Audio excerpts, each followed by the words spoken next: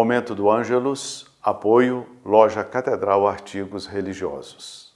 Em nome do Pai, e do Filho, e do Espírito Santo. Amém. O anjo do Senhor anunciou a Maria, e ela concebeu do Espírito Santo. Ave Maria, cheia de graça, o Senhor é convosco. Bendita sois vós entre as mulheres, e bendito é o fruto do vosso ventre, Jesus.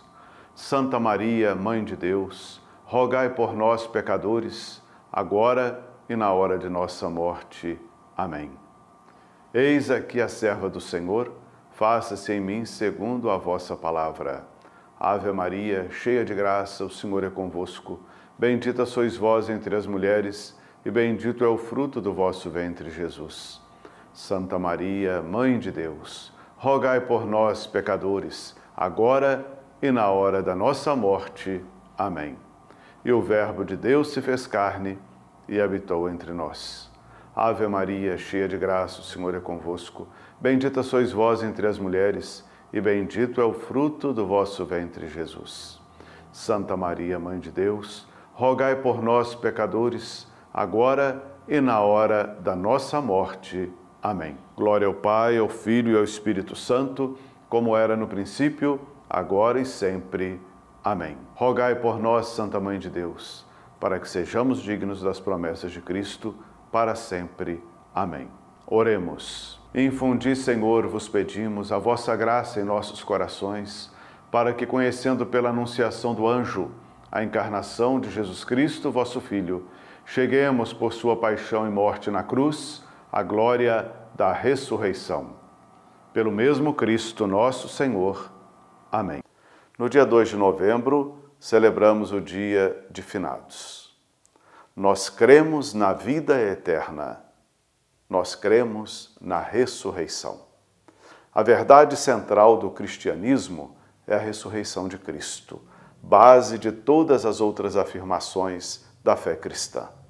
Aceitar a ressurreição de Cristo é aceitar sua pessoa, sua obra, sua missão, sua glorificação. Cremos firmemente que, da mesma forma que Cristo ressuscitou dos mortos e vive para sempre, assim também, depois da morte, viveremos para sempre com o Senhor ressuscitado. O próprio Jesus disse: Eu sou a ressurreição e a vida. Ao celebrarmos o dia de finados, lembramos dos nossos irmãos e irmãs que partiram desta vida.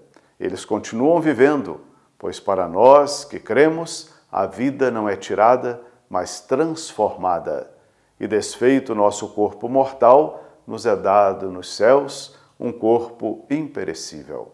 São Paulo nos diz: sabemos com efeito que quando a nossa morada terrestre, a nossa tenda, for destruída, teremos uma habitação no céu, obra de Deus, uma casa eterna não construída por mãos humanas. O dia de finados nos coloca diante da realidade da morte.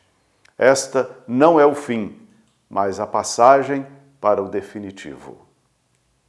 Visitar o cemitério, levar flores, acender velas, fazer orações, são manifestações de fé e demonstram que cremos que a vida continua. As flores simboliza o nosso desejo de que as pessoas que partiram alcancem a felicidade eterna. As velas que estejam na luz, que não se apaga. E as orações, nossa intercessão e comunhão, pois todos nós somos filhos e filhas de Deus. A celebração de finados, portanto, não termina num túmulo, num cemitério, mas para o cristão, a ressurreição é a plenitude da própria vida. Uma vida que não termina, mas apenas se desloca para um posicionamento muito melhor. Sai do tempo e entra na eternidade. A Igreja Católica, em sua tradição, com base na Sagrada Escritura, sempre valorizou o respeito ao cemitério, o sepultamento com dignidade, as manifestações junto aos túmulos, como flores, velas acesas, cruz e, sobretudo, a oração em favor dos que partiram. Cremos que há uma unidade entre a nossa vida e a vida dos que morreram. Cremos na comunhão entre todos os membros do corpo de Cristo.